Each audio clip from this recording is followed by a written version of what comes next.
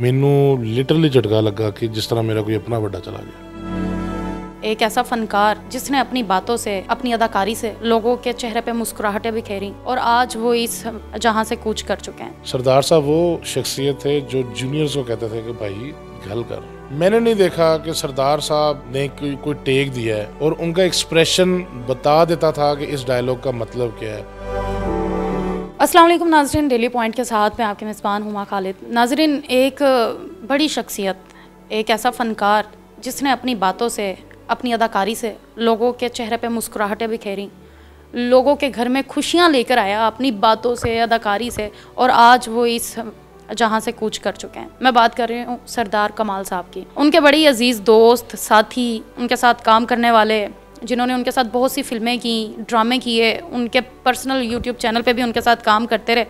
मोहम्मद अली मोटू साहब जो जाना जाते हैं इनको, वो मौजूद हैं। इनसे ज़रा बात करते हैं और सरदार साहब के बारे में जानने की कोशिश करते हैं कि कितनी स्ट्रगलिंग लाइफ थी उनकी, कैसे इंसान थे।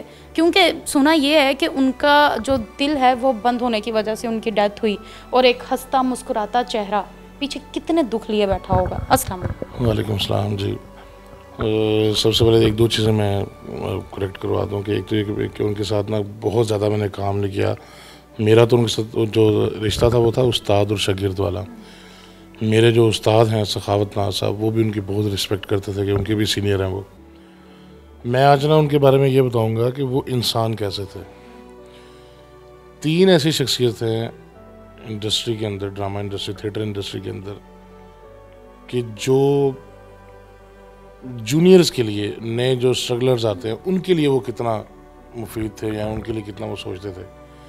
एक थे आबद खान साहब, शाहिद खान साहब के भाई।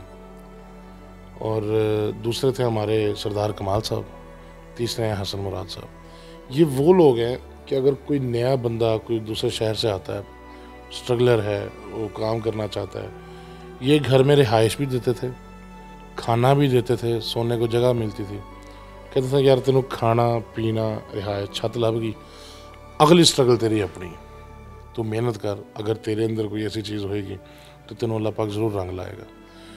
आपको पता कि एक एक्टर की या एक फनकार जो अदाकार वगैरह कुछ बनने के लिए आता है, या किसी भी फ़ील्ड के अंदर, उसके लिए जो मेन सबसे बड़ी स्ट्रगल होती है ना दूसरे शहर में, वो उसका खाना, पीना और रिहाइश का ही होता है। जब आप एक बंदे की ये टेंशन ही सेवेंटी एटी परसेंट ख़त्म कर दें, खाने, पीने और रिहाइश की तो फिर तो वो कहता कि यार, अब अब वही है कि मैं और मैदान, मैं और मेरा काम है और मैदान है, जितना भी कर लूँ।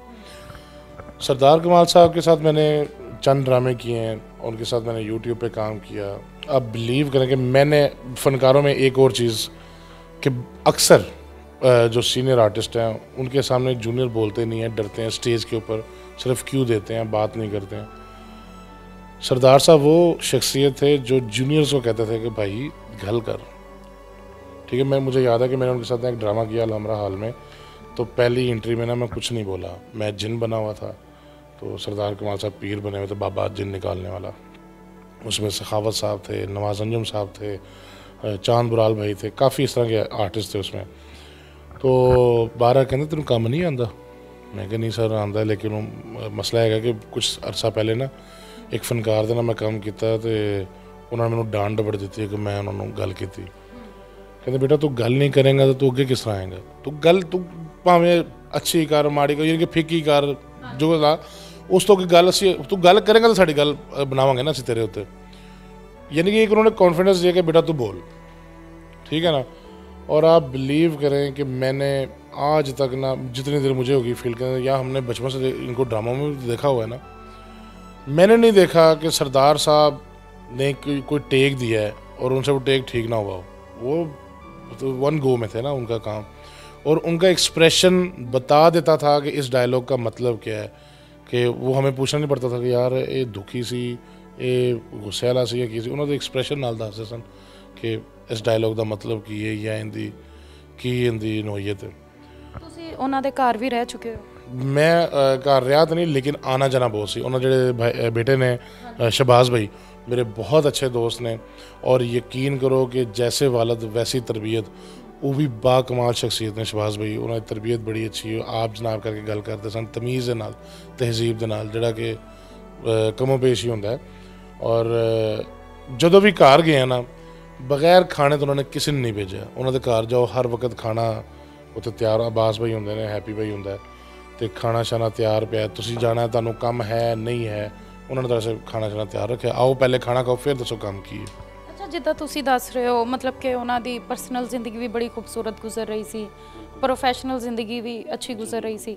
ਤੁਸੀਂ ਕਿੱਦਾਂ ਮਤਲਬ ਕਿ ਫਿਰ ਇੱਕ ਹਾਰਟ ਅਟੈਕ ਦੇ ਨਾਲ ਤੁਸੀਂ ਯਕੀਨ ਮੰਨੋਗੇ ਕਿ ਰਾਤ ਨੂੰ ਮੇਰਾ ਇੱਕ ਦੋਸਤ ਹੈ ਸੈਫ। ਉਹਨੇ ਮੈਨੂੰ ਕਾਲ ਕੀਤੀ ਕਿ ਸਰਦਾਰ ਸਾਹਿਬ ਦੇ ਬਾਰੇ ਪਤਾ ਲੱਗਾ ਮੈਂ ਕਿਹਾ ਕੀ ਹੋਇਆ? ਕੁਛ ਅਰਸਾ ਪਹਿਲੇ ਮੈਂ ਉਹਨਾਂ ਨੂੰ ਮਿਲ ਕੇ ਆਇਆ ਸੀ ਉਹਨਾਂ ਦੇ ਥੀਏਟਰ ਤੇ। ਕਹਿੰਦੇ ਯਾਰ ਉਹ ਹਾਰਟ ਅਟੈਕ ਹੋਇਆ ਤਾਂ ਦੁਨੀਆ ਤੋਂ ਚਲੇ ਗਏ ਮੈਨੂੰ ਲਿਟਰਲੀ ਝਟਕਾ ਲੱਗਾ ਕਿ ਜਿਸ ਤਰ੍ਹਾਂ ਮੇਰਾ ਕੋਈ ਆਪਣਾ ਵੱਡਾ ਚਲਾ ਗਿਆ। ਜਦੋਂ ਤੁਸੀਂ ਲਾਸਟ ਟਾਈਮ ਉਹਨਾਂ ਨਾਲ ਮਿਲੇ ਮੁਲਾਕਾਤ ਕੀਤੀ ਮਹਿਸੂਸ ਹੋਇਆ ਕਿ ਸ਼ਾਇਦ ਪਰੇਸ਼ਾਨ ਨੇ ਕੋਈ ਨਹੀਂ ਮਾਸ਼ਾਅੱਲਾ ਖੁਦ ਡਰਾਈਵ ਕਰਦੇ ਸਨ ਸਿਹਤਮੰਦ ਸਨ। ਕੋਈ ਬਿਮਾਰੀ ਨਹੀਂ ਸੀ। ਨਾ ਨਾ ਨਾ ਬਿਹਤਰੀਨ ਮਾਸ਼ਾਅੱਲਾ ਹੱਟੇ ਘਟੇ ਉਹ ਜਦੋਂ ਐਕਟਿੰਗ ਕਰਦੇ ਸਨ ਤਾਂ ਸਾਡੇ ਨਾਲੋਂ ਜ਼ਿਆਦਾ ਸਿਹਤਮੰਦ ਸਨ ਉਹ। ਗੱਲ ਇਹ ਕਿ ਉਹਨਾਂ ਦੀ ਜਿੰਨੀਆਂ ਵੀ ਮੈਨੂੰ ਯਾਦ ਹੈ ਕਿ ਅਸੀਂ ਫੈਸਲਾਬਾਦ ਨਾਲ ਇੱਕ ਦਿਨ ਮੈਨੂੰ ਉਹਨਾਂ ਨੇ ਸਪੈਸ਼ਲ ਬੁਲਾਇਆ। ਕਿ ਬੇਟਾ ਤੂੰ ਆ ਅਹ, ਤੇ YouTube ਦੀ ਵੀਡੀਓ ਕਰਨੀ। ਮੈਂ ਕਿਹਾ ਸਰ ਮੈਂ ਨਾ ਪਬਲਿਕ ਟਰਾਂਸਪੋਰਟ ਤੇ ਟਰੈਵਲ ਨਹੀਂ ਕਰਦਾ ਘੱਟ ਕਰਨਾ। ਕਹਿੰਦੇ ਗੱਡੀ ਜਾਣਾ ਮੈਂ ਕਿਹਾ ਚੱਲ ਗੱਡੀ ਦਾ ਫਿਊਲ ਮੈਂ ਦਿੰਦਾ। ਮੇਰੀ ਕੀ ਉਸ ਟਾਈਮ ਅੱਜ ਤੋਂ ਡੇਢ ਦੋ ਸਾਲ ਪਹਿਲੇ ਮਤਲਬ ਕਿ ਮੇਰਾ ਕੁਝ ਵੀ ਨਾ ਕਿਸੇ ਪ੍ਰੋਗਰਾਮ 'ਚ ਨਹੀਂ ਹੈ ਤੇ ਅਗਲਾ ਬੰਦਾ ਮੈਨੂੰ ਵੀਡੀਓ 'ਚ ਲੈਣ ਵਾਸਤੇ ਮੇਰਾ ਪੈਟਰੋਲ ਦਾ ਖਰਚਾ ਵੀ ਚੁੱਕ ਰਿਹਾ ਕਿ ਤੂੰ ਪ੍ਰਾਈਵੇਟ ਗੱਡੀ ਤੇ ਆਇਆ ਤੇ ਮੈਂ ਤੈਨੂੰ ਕਰਨਾ ਫਿਰ ਅਸੀਂ ਉੱਥੇ ਗਏ। ਉਹ ਵੀਡੀਓ ਮੇਰੀ ਬੜੀ ਵਾਇਰਲ ਗਈ ਕਿ ਮੈਂ ਉਹ ਉਹਨਾਂ ਦੀ ਜ਼ਮੀਨਾਂ ਦੇ ਉੱਤੇ ਉਹਨਾਂ ਦਾ ਟਿਊਬਲ ਬਣਿਆ ਸੀ। ਤੇ ਸਵੇਰੇ ਉੱਥੇ ਕੋਈ ਪੰਜ ਬੰਦੇ ਨਹਾ ਕੇ ਗਏ ਨੇ। ਐਡਾ ਜ਼ਬਰਦਸਤ ਖੁੱਲਾ ਡੁੱਲਾ ਟਿਊਬਲ ਭਰਿਆ ਹੈ ਤੇ ਮੈਂ ਹਲੇ ਪਹਿਲੀ ਛਾਲ ਹੀ ਮਾਰੀ ਤੇ ਟਿਊਬਲ ਦੀ ਪਰ ਕੰਧ ਹੀ ਨਿਕਲ ਗਈ।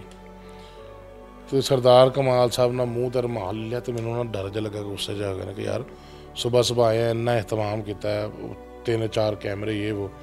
ਤੇ ਜਦੋਂ ਮੈਂ ਰੁਮਾਲ ਛੱਡਦਾ ਕਹਿੰਦੇ, ਹੱਸੀ ਜਾਣ, ਹੱਸੀ ਕਹਿੰਦੇ, ਯਾਰ ਤੇਰਾ ਬੇੜਾ ਕਰਕ ਸਵੇਰੇ ਸਾਡੇ ਤੇ ਪੰਜ ਬੰਦੇ ਨਹਾ ਕੇ ਗਏ ਨੇ ਤੇ ਤੂੰ ਜਿਹੜਾ ਨਾ ਪਹਿਲੀ ਛਾਲ ਮਾਰੀ ਤੇ ਤੂੰ ਟਿਊਬਲ ਹੀ ਪਾੜ ਦਿੱਤਾ। ਤੇ ਉਹ ਅੱਜ ਉਹਨਾਂ ਦੇ ਉਹ ਹਾਸੇ ਤੇ ਉਹਨਾਂ ਦੀ ਗੱਲਾਂ ਯਾਦ ਆਉਂਦੀਆਂ ਨੇ। ਅੱਛਾ, ਇੱਕ ਹੁੰਦਾ ਹੈ ਕਿ ਤੁਹਾਡੀ ਜ਼ਿੰਦਗੀ ਹੁੰਦੀ ਹੈ ਅਦਾਕਾਰੀ ਵਾਲੀ। ਤੁਸੀਂ ਸਾਹਮਣੇ ਤੇ ਹੱਸ ਰਹੇ ਹੁੰਦੇ ਹੋ, ਲੇਕਿਨ ਦਿਲ 'ਚ ਕਿੰਨੇ ਦਰਦ ਨੇ, ਕਿੰਨੀ ਮੁਸ਼ਕਿਲਾਤ ਨੇ, ਉਹ ਕਦੀ ਸਾਹਮਣੇ ਨਹੀਂ ਆਉਣ ਦਿੰਦੇ।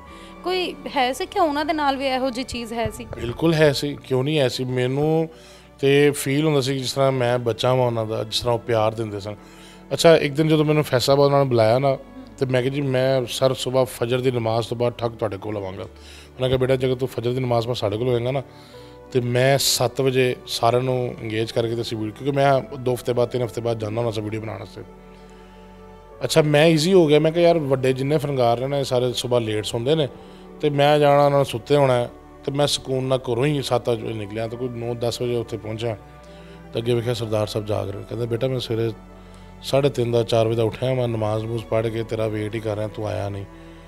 ਤੇ ਮੈਂ ਕਿਹਾ, ਸਰ ਜੀ, ਮੈਨੂੰ ਤਾਂ ਲੱਗਾ ਤੁਸੀਂ ਬਾਕੀ ਫਨਕਾਰ ਜਿਵੇਂ ਸੁੱਤੇ ਰਹਿੰਦੇ ਨੇ, ਤੁਸੀਂ ਵੀ ਸੁੱਤੇ ਹੋ। ਕਹਿੰਦੇ, ਨਹੀਂ ਬੇਟਾ ਤੂੰ ਇੱਕ ਅਦਾਕਾਰ ਹੈ ਤੇ ਤੇਰਾ ਇੰਤਜ਼ਾਰ ਕਰਨਾ ਤੂੰ ਮੈਨੂੰ ਕਮਿਟਮੈਂਟ ਕੀਤੀ ਤੇ ਮੈਂ ਉਸ ਕਮਿਟਮੈਂਟ ਤੇ ਪੱਕਾ ਸਰਦਾਰ ਸਾਹਿਬ ਕਮਿਟਮੈਂਟ ਤੇ ਪੱਕੇ ਸਨ ਔਰ ਤੁਹਾਨੂੰ ਮੈਂ ਇੱਕ ਹੋਰ ਗੱਲ ਦੱਸਾਂ ਕਈ ਐਸੀ ਇੰਡੀਅਨ ਪੰਜਾਬੀ ਫਿਲਮਾਂ ਨੇ ਕਿ ਜਿਹੜੀਆਂ ਸਰਦਾਰ ਸਾਹਿਬ ਨੇ ਲਿਖ ਕੇ ਦਿੱਤੀਆਂ ਹੋਈਆਂ ਨੇ ਤੇ ਕਦੀ ਵੀ ਉਹਨਾਂ ਨੇ ਇਹ ਨਹੀਂ ਕਿਹਾ ਕਿ ਮੇਰਾ ਕ੍ਰੈਡਿਟ ਹੋਵੇ ਜਾਂ ਕੁਝ ਵੀ ਨਹੀਂ ਕੋਈ ਆਇਆ ਹੈ, ਕਿਸੇ ਨੇ ਆ ਕੇ ਸਰਦਾਰ ਸਾਹਿਬ ਇੱਥੇ ਫਸ ਗਈ ਕਹਾਣੀ ਕੀ ਕਰੀਏ ਉਹਨਾਂ ਨੇ ਲਿਖ ਦੇਣਾ ਬੇਟਾ ਇੱਥੋਂ ਇੰਜ ਕਰ ਲੈ ਇੱਥੋਂ ਇੰਜ ਕਰ ਲੈ ਇੱਥੋਂ ਇੰਜ ਕਰ ਲੈ। ਅੱਲਾਹ ਤਾਲਾ ਨੇ ਐਸੀ ਅਤਾ ਕੀਤੀ ਹੋਈ ਉਹਨਾਂ ਨੂੰ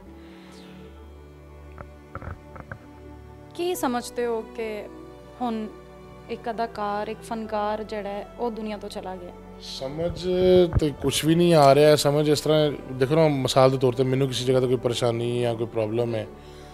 ਤੇ ਬਾਕੀ ਵੀ ਸਾਡੇ ਵੱਡੇ ਸਾਰੇ ਉਸਤਾਦ ਨੇ, ਜਿੰਨੇ ਵੀ ਹੈਗੇ ਨੇ। ਲੇਕਿਨ ਉਹਨਾਂ ਦੇ ਨਾਲ ਜਾ ਕੇ ਨਾ ਇੱਕ ਬੜਾ ਦੋਸਤਾਨਾ ਜਿਹਾ ਮਾਹੌਲ ਹੋ ਜਾਂਦਾ। ਸੀ ਖੁੱਲ ਕੇ ਪੁੱਛ ਲਈਦਾ ਸੀ, ਸਰਦਾਰ ਸਾਹਿਬ ਐਂਦਾ ਕੰਮ ਦਾ ਇੰਜ ਕੀ ਕਰਨਾ, ਇੰਜ ਕੀ ਕਰਨਾ। ਉਹ ਸਾਡੀ ਇੱਕ ਰੀਲ ਬਣਦੀ ਹੁੰਦੀ ਸੀ, ਉਹਦੇ 'ਚ ਉਹ ਪਿਓ ਬਣਦਾ ਸਨ, ਮੈਂ ਬੇਟਾ ਬਣਦਾ ਹੁੰਦਾ ਸੀ। ਉਹ ਵੀਡੀਓ ਅਸੀਂ ਬੜੀਆਂ ਕੀਤੀਆਂ। ਬੜਾ ਸ਼ੋਗਲ ਲੱਗਦਾ ਹੁੰਦਾ ਸੀ। ਤੇ ਉਹ ਹੁਣ ਸੋਚਦਾ ਨਾ ਕਿ ਯਾਰ ਹੁਣ ਜਿਹੜੀ ਰਹਿਨੁਮਾਈ ਚਾਹੀਦੀ ਹੈਗੀ ਉਹ ਕਿੰਦੇ ਕੋਲ ਲਵਾਂਗੇ ਉਹ ਹੁਣ ਦੇਣ ਵਾਲਾ ਕੋਈ नहीं अल्लाह ताला उन्होंने दर्जात अ, बुलंद फरमान बाकी उन्हें दुआओं में याद रखिएगा और उनके लिए दुआ कीजिएगा कि अल्लाह ताला उनकी आगे की जो मंजिल है वो आसान फरमाए इजाज़त दें वसलाम